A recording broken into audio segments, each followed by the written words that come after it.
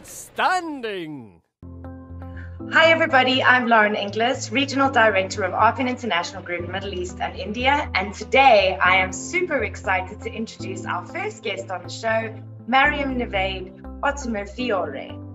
Mariam is a mother of three children, an expat author, and is on the board of directors for a company called Families in Global Transitions. She runs an interesting blog and Instagram page and has relocated to her 10th country. Stay tuned as we follow Mariam's global mobility journey. Relocating to a new home, new people, new schools, new beginnings, and new adventures. Shared with all, right here, on My Expat Moving Story, with our host Lauren Inglis. Welcome, Mariam. We're so pleased to have you here on our show to share your experiences of all of your moves around the world. Let's get started on the questions. First question I'd like to ask is please, could you tell us about your earliest relocation? Where were you headed to and how you were feeling about it? Were you excited, nervous, apprehensive? What made it worthwhile in the end? Could you share some fond memories with us? Sure. Thank you, Lauren. Thank you so much for having me. And I'll be very happy to share um, all my stories of relocating to different quarters of the world. Um, but yeah, uh, in terms of my earliest relocation, I guess I would pick um, the time, Lauren, I left my home in Karachi, Pakistan, and relocated to Boston, Massachusetts, in the US. I was 18, almost 19 years old, and I was leaving home for the very first time. Um, and it was incredibly thrilling to be holding uh, a blue suitcase in one hand and a one way ticket in the other. I think just that thrill of having a one way ticket in your hand is a feeling that is um, so hard to capture, but it's that mix of adrenaline and excitement and nervousness mixed in with what you're about to do and this big adventure you're you know about to embark on. But the reason I was so excited, Lauren, was because this was the first move that I made, which was my choice. Um, I, you know, had experienced, I had le- uh, moving as a child. I had moved around in my early childhood with my family, with my parents, and I had moved for my dad's career. And I felt like I never had a choice in those moves. So this felt quite different because I think when you're in the driving seat and you're moving because you want to have that experience, it's something totally different. So, yes, there was nervousness. Yes, there was, you know, concern. Uh, I was flying into Boston's Logan Airport shortly after 9 11 had happened, and it was a crazy time in the world uh, yeah. for me yeah. doing that all by myself. But you know, I do feel for my parents. I think it was probably tougher on them than it was for me because I didn't think too much about it. In hindsight, I'm thinking, oh yeah, as a parent, that's got to be nerve wracking. Yeah. But, you know, um, it was great. It was, you know, um, this, this incredible change scenery. You know, I left Karachi, uh, you know, heat, the heat, you know, and you live in Dubai, so you know when I describe that kind of clammy, sweaty heat where you feel like someone's holding a blow dryer on the top of your head. And yeah, uh, it's getting me now, so I get it. Absolutely. And, you know, you exchange that, and then next minute you're, you know, in Boston, and it's so cold, and you can barely feel your fingers, and you're kind of still remember trying to turn the lock in my door and not able to do it because it was so cold. My hands were literally shaking. um, so, you know, that was my first relocation experience by myself. And um, I think that was something I'll always remember. I've done many moves after that as well. I mean, uh, another move I can talk about is my move from Berlin, Germany to Copenhagen, Denmark, which was my first corporate move with my husband. And, you know, I, have very different emotions then. Uh, I guess that was my first corporate relocation. And I wasn't too excited about Copenhagen just because I felt like I hadn't lived long enough in Berlin. I had only been there for about a year and a half. And as you know, it takes just six months to unpack your heart when you move somewhere. And, you know, it learn start feeling actually Exactly. You know, it's just learning German. And I just managed to learn enough German to feel some sense of, you know, um, capability of going and doing my grocery shopping and just doing normal everyday tasks. And then, of course, as soon as I'd learned German, my husband got this job opportunity to move to Copenhagen. So off we went to Denmark, and there I was learning Danish. you know, so it was a very different experience. And in the end, it was one of our best experiences. So I guess that's where I, you know, learned how to say never say never, because when it comes to relocation, never say never, because you just don't know what happens when you live in a country that may not have been what you had been imagining, but it opens up mm-hmm. so many amazing things for you. And that's what Denmark did for me. It was one of our best moves. Oh, that's good.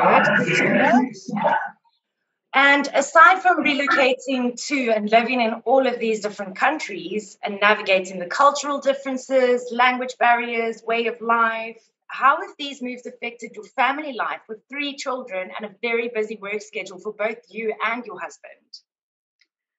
Yeah, um, I think we, as a result of all these moves, Lauren, have become this complex um, messy family, a messy modern family, as I call us ourselves in uh, in my book, um, which means and messy, you know, is is a word which because you know it has different connotations, right? It could be messy good and messy complicated, and that's really how it is for us. So in my family, we are a family of five: myself, my husband, and our three children. And you know, Lauren, the five of us are born in five different countries. Um, we, you know, when people ask us where we're from, it's really hard to know where to start or where to begin to tell our story because, you know, we are, are born all around the world and and we wonder should we start by explaining where we're born or where we have grown up or where we currently live or where is home for us? Because if you ask us each family member will give you a different answer. Um, so that can be kind of tricky and this happens like first day of settling in my children at school, their teacher will ask me, "Oh, where are you from?" and and I'll say, "Well, oh, I'm I'm Pakistani," and my husband will say, "Oh, I'm German and, and Italian," and our daughter will say, "Oh, I'm from Singapore," because that's where she's born, and so she she considers herself Singaporean and tells people that that's where she's actually from, and so the teacher is just looking at us like, "Okay, um, right." who, who to believe or what's going on there. But you know, it's it's that complex narrative where the more you ask, the more you know we will tell you details. Um, so it's affected our family in in this way that um, we have all these complex layers of who we are and our identity and sense of home and belonging is split up around the world. So it can be quite tricky to not belong to just one place, but we like to think that we belong a little bit to so many different places.